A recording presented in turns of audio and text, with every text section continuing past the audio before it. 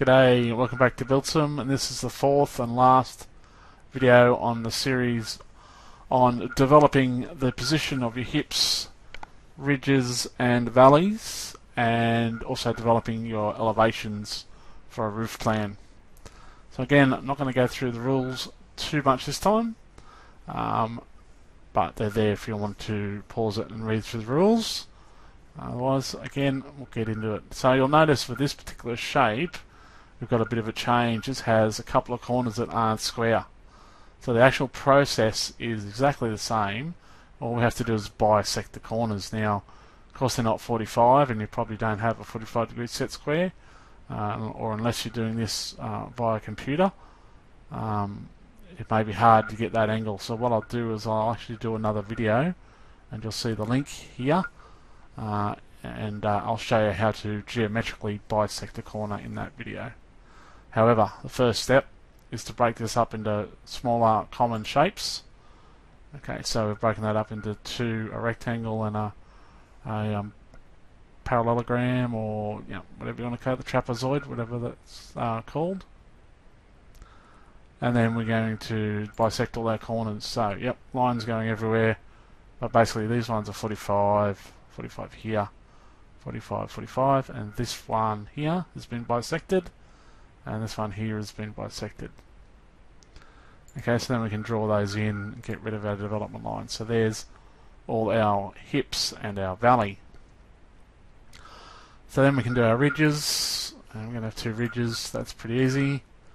And then we can get rid of our original um, line that we used to break the shape up, and that will mean we can get rid of this hip here because it's not needed. So there we have the actual shape of our roof with our two um, irregular hips here because they're not a 90 degree corner.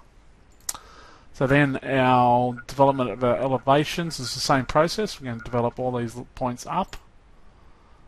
Okay, so again we've just picked that intersection and the end, the end of our plate there and the end of our plate there. So for this side our roof's going to come up to here and there's going to be a ridge that goes across to there and then one of our hips is going to go back down to this point. Oh, sorry, I've gone over this one, so we do that one there. It's pretty simple. And then, as I said, one of our hips on this side is going to go down to this point, and the other one is going to run down to that point. Okay, so it doesn't look right, but because this is not 90 degree corner, that's what that end looks like. Okay, so let's do the side elevation. Okay, again, lots of lines, but we just start at one end and work our way through. So this hip here, it comes from that corner up to there, at just 30 degrees, because remember we're looking side on. Uh, then we have that ridge that runs across, so that's the ridge there. And then it goes back down to the corner. Uh, so that's pretty good. And then this hip here, it just runs from that intersection there back down to there. Okay, so this view actually looks pretty conventional, but just think about it, if you're standing here looking that way, you're not really going to see this this angle. So that's right, it looks like a conventional roof that is 90 degrees on that end.